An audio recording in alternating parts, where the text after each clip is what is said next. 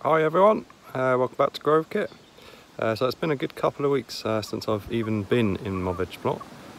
Um, I haven't put any videos on YouTube either for a couple of weeks, uh, so I'm sorry about that. Uh, but today I'm going to be pulling up my main crop potatoes and I've noticed uh, I've got quite a few crystal apple cucumbers which are ready to be harvested.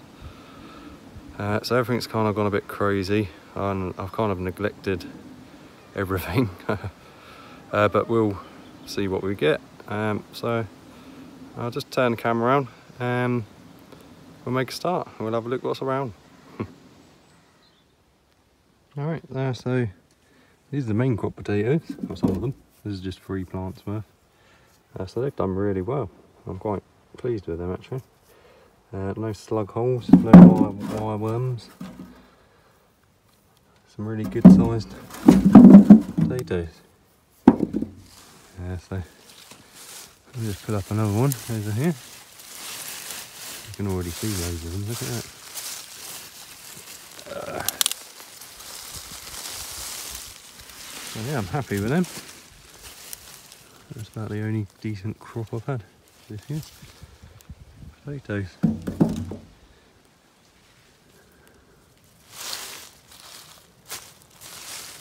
Oh, loads.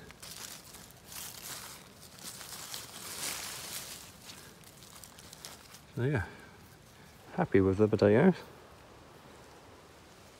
Right, so I've got about another 20 plants to pull up, so I'll get cracking a minute and we'll see what we got at the end.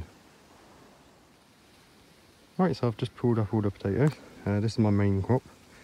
Um, I think that's Pentland Dell, um, but that might have been my early, I can't remember what they were called, but I will write it in the description, uh, the variety. Um, but very happy with this harvest. Uh, if you remember my first earlies were pretty much knackered, they all got eaten. Um, but the main crops have more than made up for it, so I'm really happy with these. Um, so there's probably still more in there, because uh, this is just the ones that I saw on the surface type thing. Uh, these are no dig potatoes, uh, so I didn't earth them up at all. I just put them underneath the compost and horse manure and leaf mould. Um, but I will be digging this over just lightly uh, just to get the rest of the potatoes out and pull up any weeds that have grown in here. Uh, it's not been too bad weed wise. Um, quite a lot of bindweed but it's not a problem if you keep on top of it. Um, see it just grows in the grass, it just grows in to the bed. Um, I'll just keep pulling them out. So uh, anyway, um, I'm just going to dig it over, see if there's any more potatoes in there. And I will start harvesting my cucumbers. Uh, I'll get back to you in a minute. Alright then guys, uh, so this is what we ended up with. Let's get these out of the way. Um, so we've got probably about 30 kilos of potatoes.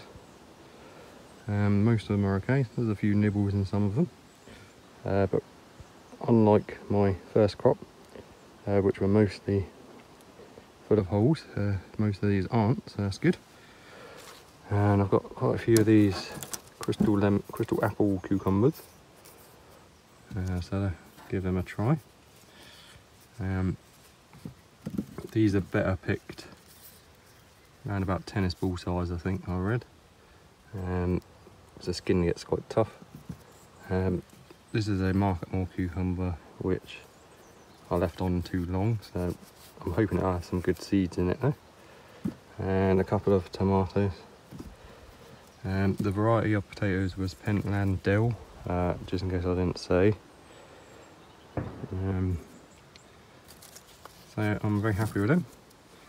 Um, what was I going to say? Um, with the potatoes, if you notice anything on them that looks like tomato, uh, this is actually the fruit from the potato plant. Uh, they're very closely related to tomatoes. Uh, I think they're part of the nightshade family. So whatever you do, don't mistake them for tomatoes and eat them because they're actually poisonous, I believe. Uh, so I just thought I'd let you know that, just in case, because uh, I have seen a few posts, people asking what they are. Uh, so they're the fruit from the potato plant, uh, but you cannot eat them. Um, so my cucumbers, I've just left and they've been going wild. Uh, they're all nicely producing just the waffle cucumbers now. Uh, I've left a few on the plant just to let them get a little bit bigger. Um, the one that gave me the best crop was the one with fasciation. Um, see the multiple stems and stuff. But we are getting a good crop off of it, so very interesting. Uh, it's gone all over the place, but uh, I'll leave these on here just a little bit longer, just get a bit bigger. Um, this bed's now clear, uh, so any ideas what to do with that uh, would be much appreciated. Uh, any recommendations of what I should sow in there or plant in there? um, so, um, when I did these beds, I didn't really think it through very well. So what I might do is make this just one bed. Just put an extra couple of slates in there now and just make it one bed. Because uh, I can't get the lawnmower down the middle of there. Uh, so I should have given it another few inches and then it would have fit perfectly. Uh, but it's all learning. Um, the sweet corn I sowed far too late because my first sowing failed they're doing well, but unfortunately I don't think there's going to be time for them to produce a crop. Same with these tomatoes here. I'm not going to pull them up yet, just in case, you never know. Um, as I said, there's more tomatoes here. Uh, everything else is growing, but not producing much. We've got a few strawberries in the end, but not many. Uh, they were first year plants anyway. And I made the mistake of letting some runners grow so that didn't help the harvest. Um, the grapevine there uh, is actually growing nicely now. Um, it only started growing probably end of May because uh, it was a stick. It was a about a year old anyway, but I trimmed it right back just to transport it when we moved. Um, so it's growing up here now. Uh, so next year hopefully we'll get some grapes on that. Um, the gooseberry bush is recovering from its attack from sawflies. Uh, but again no harvest this year from them. I will give it a nice prune and hopefully we'll get a nice harvest next year. I'll clear out the middle. Uh, the same with the currants. I prune them back really hard to transport them. We got a few on there that the birds got them, or the animals got them before me. Uh, Brussels sprouts are still going. A few carrots in there. Uh, apologies if you can't hear me, it's extremely windy today. Uh, we had this storm go through yesterday. Um, we're just in the tail end of it now, so still a bit windy. Uh, onions again. Some of them are okay still, but the majority of them have just been munched. I have a feeling that it's rabbits eating these, or hares. I did see a hare running down the road, so they've obviously been in here, or something's been in here. Um, the Brussels sprouts have got caterpillars on them. I'm going to spend a bit of time in a minute and pick off as many as I can. Uh, but again, a learning experience. Uh, I should have netted them. I knew I should have netted them, but I thought I'd be able to keep on top of it. Um, black currant there, that was new this year. Uh, it's growing well, but not produced. These tomatoes, I didn't keep on top of the suckers, and as you can see, it's just gone crazy. There is a few tomatoes on it. Uh, but again, I should have kept on top of it. And another currant bush, looking nice and healthy, but no currants this year. Obviously, when I got it when I got it here, I trimmed it down to about a foot. Um, it, the fruit grow on old growth, so this growth will have fruit next year, hopefully. The same with the raspberry. We did have a few. There was a fair few, but by the time I'd got out here to pick them, something else had eaten them.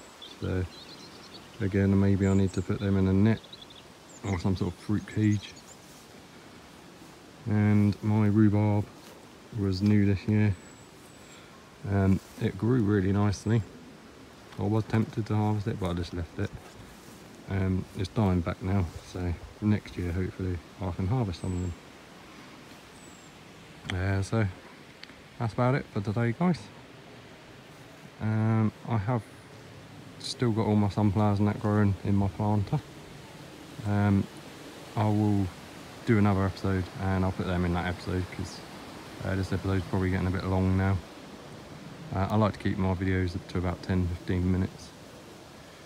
Um, just purely because my internet is terrible and it takes hours to upload them as it is. Um, but yeah, I'm, I'm really happy with my main crop potatoes. And I'm happy with the crystal apple cucumbers. Uh, considering they were grown outside as well not in a greenhouse so and there's still plenty to harvest. And I'm still hoping we'll get some Brussels sprouts at the end of the year.